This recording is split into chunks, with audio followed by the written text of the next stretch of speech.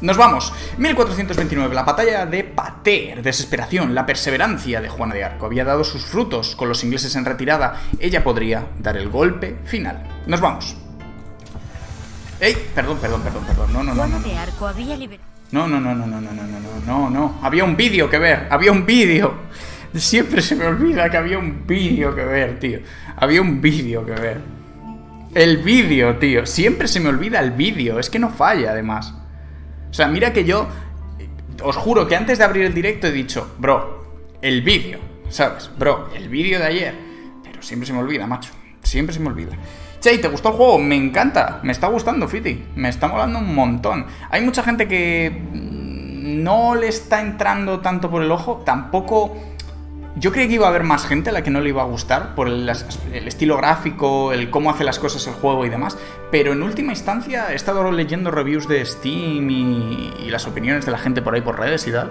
Y aparentemente le está gustando a mucha gente, tío a mucha gente. O sea, mucha gente que está volviendo un poco al género RTS por este Age of Empires 4, eh, que les, les ha un montón. Así que, oye, increíble. Y a mí en particular me parece que el juego es... No sé cómo deciros, es que no sabría colocarlo dentro de la franquicia, ¿sabéis? Probablemente a mí me guste más que Age of Empires 3. A mí, personalmente. ¿vale? Probablemente este juego a mí me guste más que Age of Empires 3, pero es a mí, o sea, vosotros podéis tener otra opinión, tío, y no pasa nada, ¿sabes? Simplemente que, pues, cómo trabaja la historia este juego, cómo plantea las mecánicas de juego, me parecen súper dinámicas y súper interesantes. Esto lo tengo que quitar, chicos, vamos a ver el vídeo y ahora después empezamos con la cuesta, ¿vale? A mí, en principio, me está molando más el, que el Age of Empires 3. ¿Mejor que Age of Empires 2? Yo creo que es que eso es imposible, tío. O sea, es que mejor que... O sea, no se puede mejorar algunos juegos, ¿sabéis lo que os quiero decir? Esto va a ser lo mismo, tío, es similar a lo que pasa con los MMOs y World of Warcraft, ¿sabéis? Ahora Blizzard está en un berenjenal de copón, pero... Es que aunque saquen MMOs todos los que saquen, tío, es muy, muy difícil que llegue un MMO que que lo haga mejor o que funcione mejor a un nivel comercial que World of Warcraft. ¿Sabéis? Pues lo mismo pasa en los RTS con Age of Empires 2. ¿Sabéis lo que os quiero decir? Es muy complicado un RTS del histórico, del mismo tipo que, que Age of Empires, que lo haga mejor. ¿Sabéis? Si hablamos de otro tipo de RTS, eso es otra conversación. Están ahí los StarCraft, los Warcraft y demás. Pero en RTS histórico, tío, es que es muy complicado. A mí me parece complicadísimo. Nos vamos, vida de campaña. Así que ya os digo, a mí me está gustando mucho más que Age of Empires 3. Tiene cosas que me parecen mucho mejores que Age of Empires 3. Para mi gusto personal. Pero uf, con Age of Empires 2 yo creo que uf, es complicado compararlo. Es complicado. Vida de campaña. Un ejército medieval en marcha era una ciudad en movimiento. Realmente. No se escatimaba nada para que caballeros y nobles estuvieran rodeados de lujos. Luz. Knights lived in luxurious tents called pavilions, which had all of their furnishing proper chairs and tables and tableware, real beds with fine linens, even wall hangings. Había que transportar todos sus muebles, y eso aparte de lo que se necesitaba para el combate. Había un ejército de artesanos para mantener las armas y armaduras. The armorer's job on campaign was one of maintenance, constantly repairing, knocking out dents, simply changing straps, or replacing rivets that had broken. If you think of the knight as a race car driver, the armorer is his chief mechanic. Without him, he would not be able to function. Una banda de civiles oportunistas también seguía al ejército, los seguidores del campamento. Bueno, era Todos op competían por vender oportunista. sus bienes y servicios a los soldados.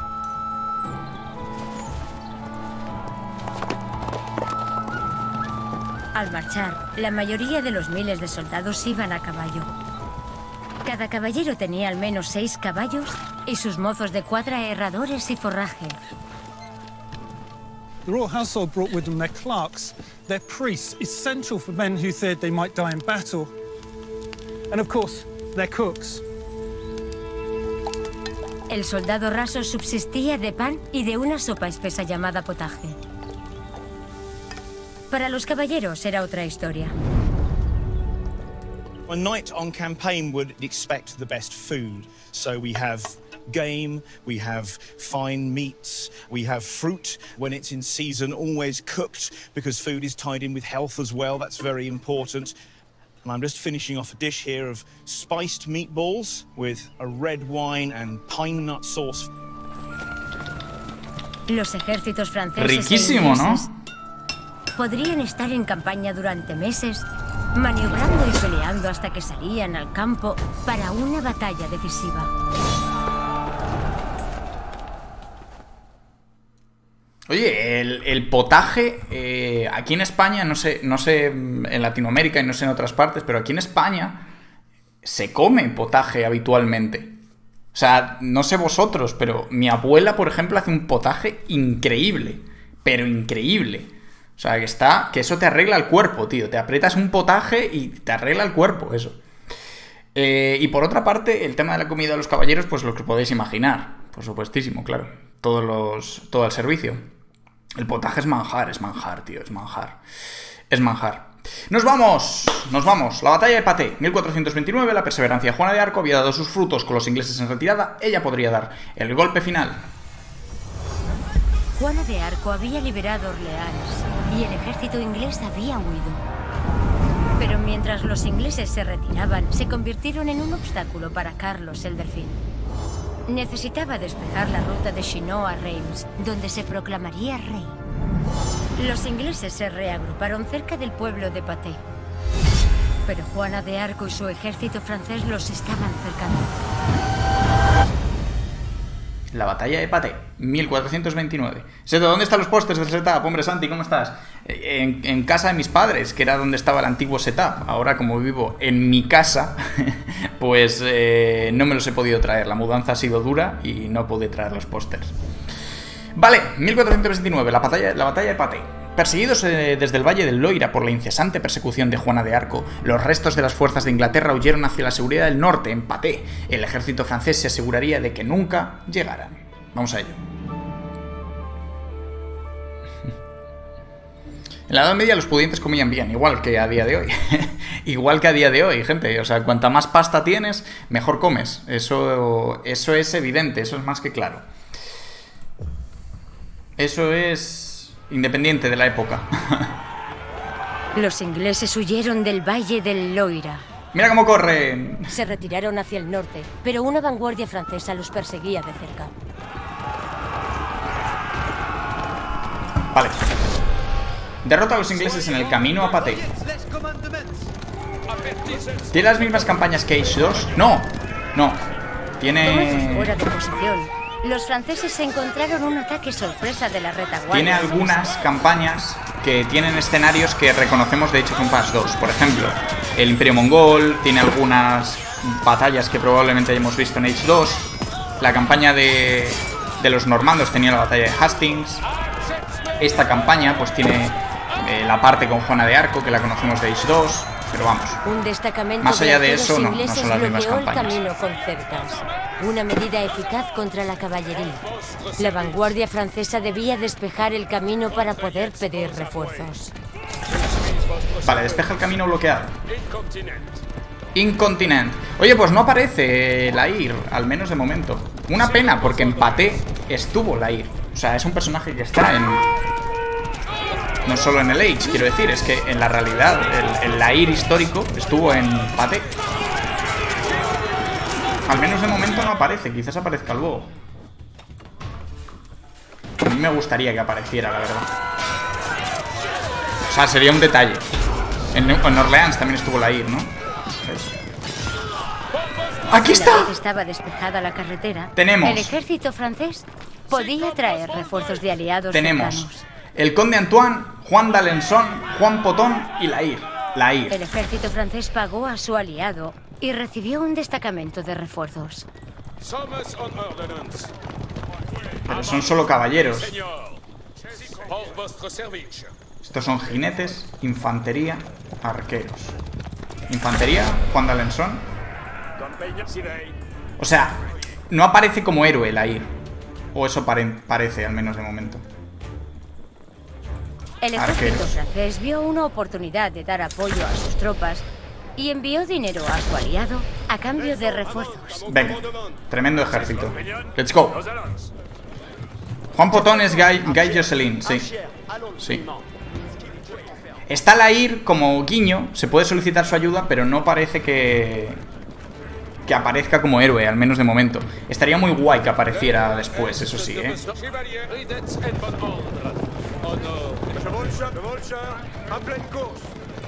Pero bueno, es un detalle, ya por lo menos aparece, tío. Así que yo ya estoy más contento de lo que estaba hace un momento.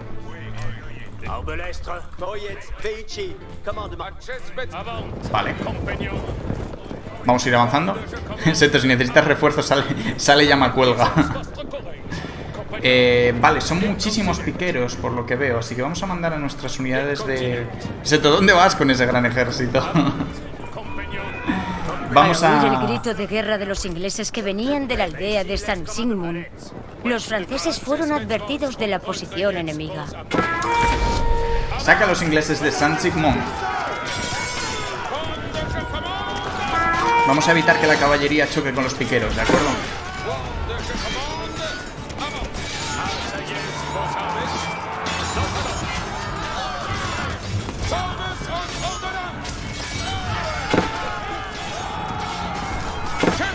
¿Vale? Lo tenemos, tío. La verdad es que el juego está increíble. Yo me lo estoy pasando como un enano con él. Eh, no sé si tendré todo el mundo la misma opinión que tengo yo. volvieron a capturar San ¿Sabéis? Sigmund y se prepararon para reunirse con Juana de Arco. ¿Vale? ¿Sabéis? No sé si el resto de streamers, youtubers, gente del mundillo tienen la misma opinión que yo. Es muy posible que no. La vanguardia francesa no podría llegar hasta Juana. Pero yo, yo al menos estoy encantado con el juego, a mí me encanta. Derrota al bloqueo inglés. Vale, son bastantes.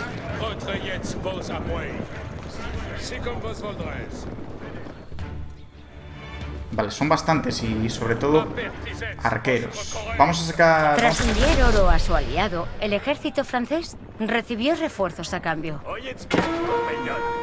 tropas.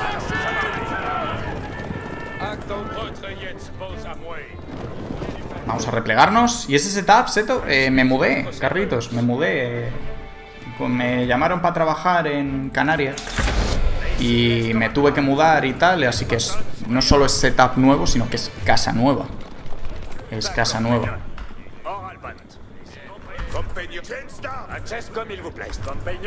Vale, vamos a juntar a toda la infantería, todos los hombres de armas. Yo no estoy seguro de pillármelo porque mi gráfica es justita, pero me pone tontorrón. Es juegardo. Pico. A mí me está encantando, tío, de verdad te lo digo, eh. Yo estoy como niño pequeño con él. Me parece juegardo, pero absoluto. ¿Sabes? Sí, el juego se centra menos en los héroes, así que quizás esa es la razón de, que la IR no aparezca como héroe, sino como ayuda o, personaje al que pedirle refuerzos. Es posible que sea por eso. Vale, revive al líder, tal. ¿Cuándo hay serie nueva de Crusader Kings 3? Pues a ver si... A ver si nos ponemos más adelante a echarle unas partiditas.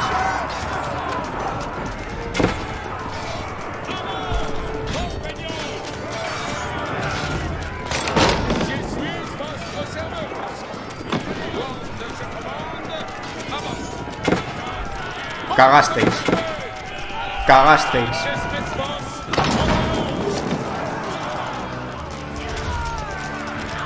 Cagaron.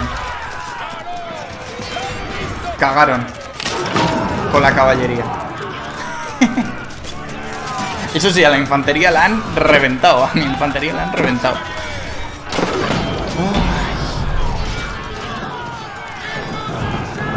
Vale, ahí tenemos. Tras la destrucción del bloqueo inglés, la vanguardia francesa se alegró por la llegada de Juana de Arco y sus tropas.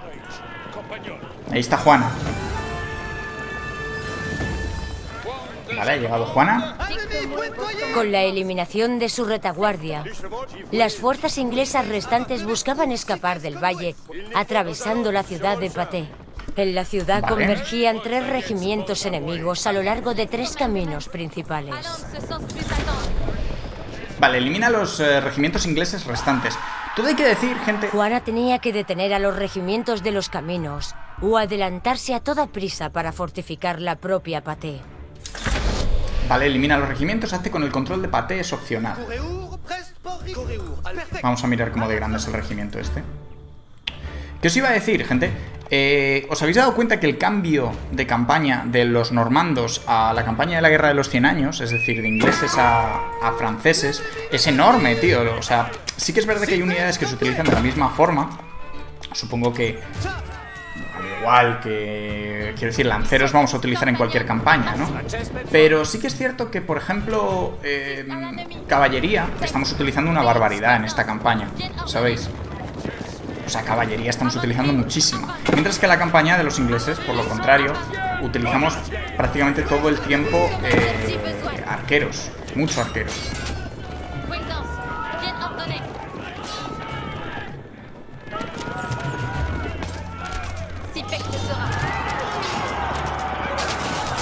Cuando les puedo cargar, tío, a los arqueros es que los, los destruyo a los ingleses, tío.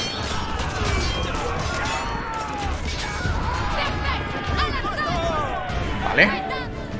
Avanzamos. Habría estado muy chulo realmente ver a los diferentes héroes de, esta movida. Aunque yo no descarto luego ver a... A la IR, ¿eh? Ojo al regimiento. Hay que llegar a Paté, ¿eh?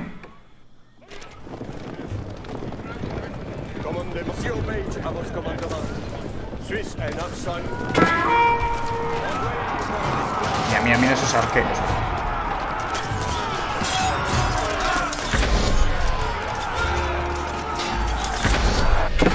Vale, más tropas. Vamos allá. ¿Hay nuevas tropas? Por supuesto, el juego está hecho de cero. Sí que es, es verdad que hay muchas unidades que recuerdan o son muy iguales a las de Age of Empires 2, pero el juego está hecho, es un juego nuevo, Entonces, pues, por ejemplo, este caballero, este tipo de caballero que utilizan los franceses, que es único, el caballero real, no está en of Empires eh, 2. En el Age 2, cuando utilizas caballería de los franceses, es pues o caballeros, o paladines, o jinetes, pero no, no tienen una unidad única, podríamos decir.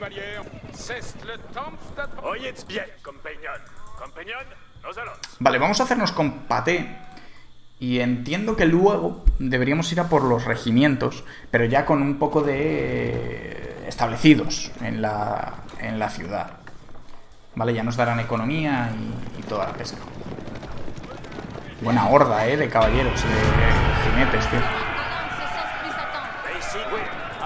Cuando las fuerzas de la valiente Juana de Arco entraron en la ciudad, el pueblo de Paté se unió a su causa. Vale. Muy bien.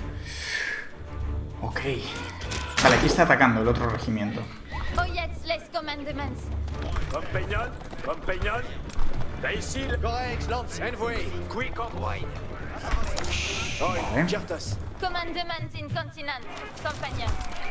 Vamos a acabar con estos manines. Vamos allá. Y de los vikingos normandos, de tenemos a los ingleses, campaña de los ingleses, pero no hay vikingos en el juego, ¿eh? Eso es importante remarcarlo. Aún no hay vikingos en el juego. Yo no descarto, por supuesto, para nada la llegada de un DLC de vikingos, ¿eh? Vamos. Me extrañaría mucho que no lo hicieran, de hecho. O sea, me extrañaría que no saliera eso. ¿Sabéis? Me extrañaría. Porque más que nada... Joder, es una oportunidad... ¡Ostras, los piqueros! Es una oportunidad comercial.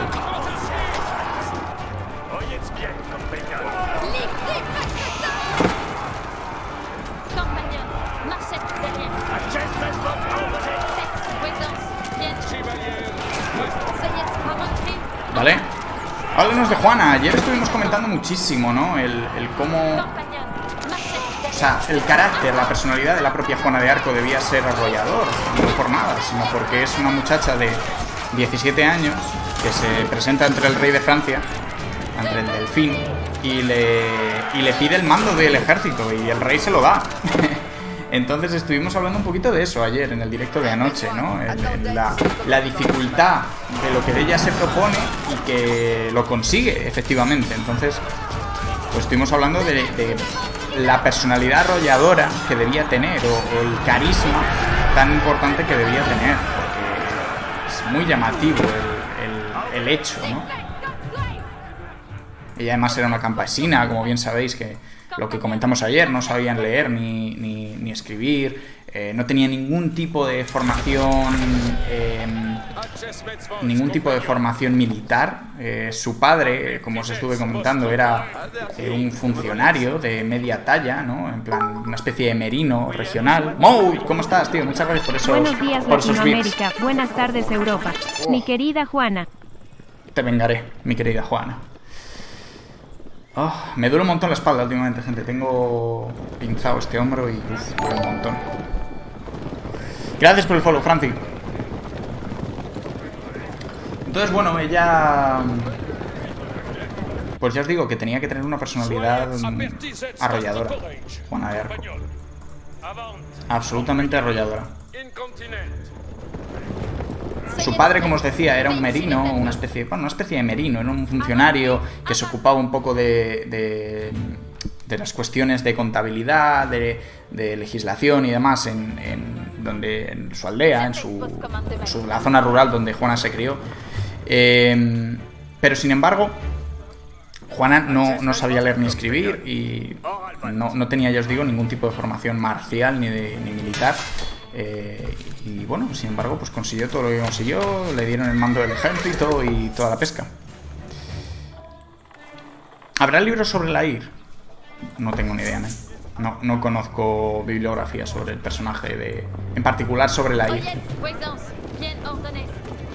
De la guerra de los 100 años hay escrito lo que queráis y más, manuales de diversa índole, ponéis en Amazon la guerra de los 100 años y os sale lo que queráis.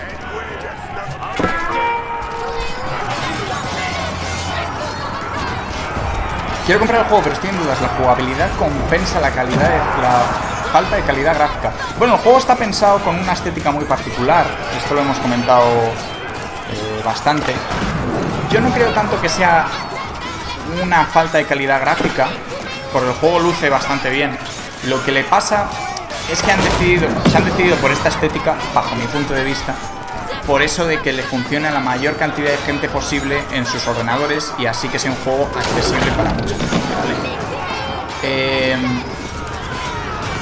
yo, vamos, para mí es un juego ideal. Para mí, a mí me encanta, me estoy pasando como un enano. Pero, la jugabilidad es muy similar a la de of Empires 2, más moderna, quizás, menos estática que la de of Empires 2. Es un juego rápido, es un juego en el que tiene mucha importancia las unidades por encima de los edificios. Tras una persecución intensa y una batalla reñida, los franceses aplastaron al ejército inglés restante, frustrando su urgente retirada. Ahora la triunfante Juana de Arco podría llevar a Charles seguro hacia Reims para su coronación como rey de Francia.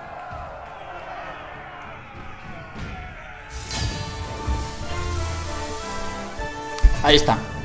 Y luego a nivel histórico, al menos en las campañas, es probablemente el mejor juego. mm, en cuanto a divulgación histórica, es el juego que mejor divulgación eh, histórica yo creo que ha hecho sobre la Edad Media de siempre. No hay ningún juego que haya llegado a este punto, yo creo. La calidad de recursos y demás, yo creo que, que nanay. Vale, la Catedral de los Reyes. Si Carlos el Delfín se convertía en rey de Francia, debía ser coronado en Reims. Siglos antes, Clovis, el primer rey franco, que en castellano creo que es Clodoveo, ¿no? Fue bautizado en Reims con aceite de una ampolla sagrada que, según decía, entregó el Espíritu Santo. El arzobispo de Reims aún tenía aquella ampolla y con ella la capacidad de, santificar al delfín como rey. Pero Reims se encontraba en lo más profundo del territorio inglés y Carlos volvió a Juana de Arco. Ella lo guió por el territorio enemigo, liberando pueblo tras pueblo. En Reims, el pueblo dio la bienvenida a la pareja, con su milagrosa salvadora a su lado. El delfín se arrodilló en el altar de la iglesia de la catedral y se levantó como el rey Carlos VII de Francia. Y con esto dejó de necesitar a Juana. Ahí está. Cirugía medieval. Los soldados medievales sufrían heridas brutales en la batalla. La probabilidad de sobrevivir dependía de los cirujanos barberos.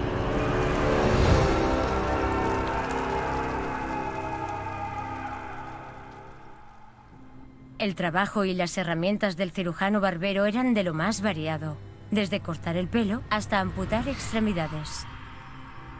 600 years ago, surgery was very different from today, and this is some of the kit that the surgeons of then would be using. For example, amputations. This bit of kit was used to cut through the skin. Then you need to get through bone, and this is what they used. Believe it or not, this was used for neurosurgery. But what they didn't have at the time was anesthesia. A pesar de llevar a cabo operaciones quirúrgicas importantes, no estaban bien formados. What they learned, they learned on the job, and the place where they practiced the most was the battlefield. También fue una época en la que se desarrollaron nuevas técnicas quirúrgicas, especialmente al tratarse de la vida de un futuro rey. En 1403, el príncipe Enrique de 16 años fue herido en la batalla de Shrewsbury contra los rebeldes que querían derrocar a su padre, el rey Enrique IV. The arrow penetrated his right cheek and became lodged at the base of his skull. He was very lucky it didn't kill him instantly. El príncipe Enrique se sacó la flecha de su rostro. Joder, qué El ástil salió, pero la punta de la flecha se quedó alojada adentro. They needed to get that out before infection set in and killed him. John Bradmore, afamado cirujano, al rescate. Bradmore registró lo que hizo para salvar la vida del príncipe, con una imagen de la herramienta que usó para extraer la punta de la flecha. And it works by ensuring that the tip is closed and then inserting it along the track caused by the arrowhead until it meets the arrowhead. Después el tornillo se gira para expandir la punta, fijándola dentro de la punta de la flecha. And then ever so slowly and gently, you extract, making sure that you don't lose it along the way. Hostia, una, una pinza, tío. By the skill that would have been needed to do this successfully. Can you imagine how good that felt when that came out? Oh my god, tío. El joven príncipe sobrevivió y se convirtió en el rey Enrique V, el héroe de Agincourt. Pero tal vez los verdaderos héroes de la medicina medieval fuesen los cirujanos barberos, que salvaron tantas vidas en la batalla. Realmente, tío. Con muy poquitos medios, ¿eh? Con muy poquitos medios, macho. Con muy poquitos medios, tío, te, te salvaban la vida. Joder, macho. Y, y sobre todo el tema de la anestesia, ¿eh? Imaginaos el tema de, de la anestesia, ¿sabéis? Eso, eso tenía que ser terrorífico, tío. Ese- esos dolores, tío, de una amputación, un, esta movida, Enrique V, ¿sabéis? O sea, joder. ¿Sabéis? 16 años y parece 45. Ah, bueno, hombre, el retrato es de cuando él era ya rey. Ese retrato es de cuando él era ya rey. Mucho más eh, mayor. Aunque Enrique V murió muy jovencito, no recuerdo. Murió con treinta y tantos o 40 palos o algo así. Murió jovencito, tío. Murió jovencito.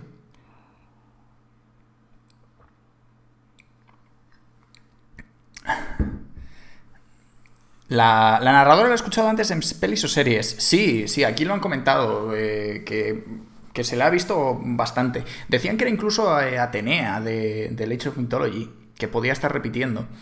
Em, bueno, anestesia, tened en cuenta el tema de eh, las bebidas alcohólicas, entiendo. Bebidas alcohólicas, que te dejen cao eh, y, y te duela menos, o estés menos, ¿sabes? Pero poco más.